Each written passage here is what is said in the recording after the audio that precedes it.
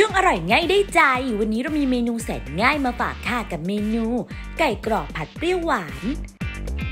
ใส่สะโพกไก่ลงในภาชนะตามด้วยโคชูจังกาโลโบเคล้าให้เข้ากันแล้วหมักทิ้งไว้ประมาณ 20 นาที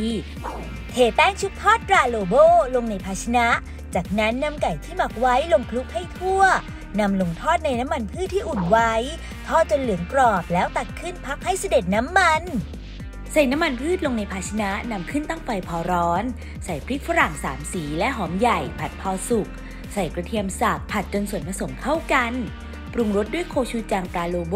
น้ำตาลทราย ซอสปรุงรสและซอสมะเขือเทศ เติมน้ำผัดให้เข้ากัน รอจนกระทั่งเดือดแล้วใส่ไก่ที่ทอดเตรียมไว้ สับปะรดแตงกวา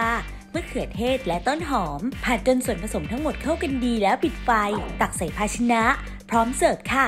พียงแค่นี้ก็พร้อมรับประทานแล้วค่ะกับเมนู ไก่กรอบผัดเปรี้ยวหวาน มีจำหน่ายแล้ววันนี้ที่ Line แอดโลโบช้อปปี้ลาซาด้า JD Central และ w w w l o b o c o th